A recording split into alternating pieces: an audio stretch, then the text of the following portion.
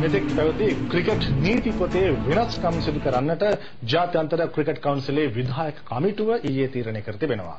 මේ විදිහට නීති වෙනස් කිරීමේ අරමුණ ක්‍රිකට් ක්‍රීඩාවේ උන්නතිය බවයි ජාත්‍යන්තර ක්‍රිකට් කවුන්සිලය ප්‍රකාශ කරන්නේ.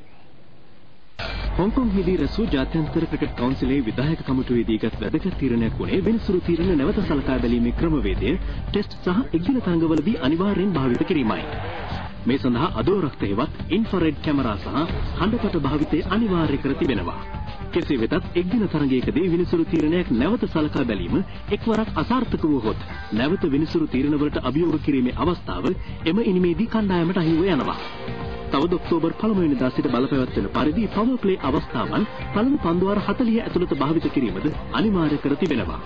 පවර් ප්ලේ නොවන අවස්ථාවලදී යාර 30 සීමාවෙන් පිටත රැඳවීමට හැකි පන්දු රකින්නන් සංඛ්‍යාව 5 සිට 4 දක්වා අඩු කිරීම මෙම රැස්වීමේදී ගත් තවත් තීරණයක්. 40 වන පන්දුවාරයෙන් පසු නව පන්දුවක් භාවිත කිරීමටද මෙහිදී තීරණය වුණා. එසේම පන්දුවාරයකට යැවිය හැකි බවුන්සර් පන්දු සංඛ්‍යාව දෙක දක්වා වැඩි කර තිබෙනවා. තවද මෙම රැස්වීමේදීගත් ආందోලනාත්මක තීරණය වුණේ කිසිදු අවස්ථාවක පිටිකරුවෙකු සඳහා සහායක දුවන්නන් භාවිත කිරීමට අවස්ථාව නොදීමයි.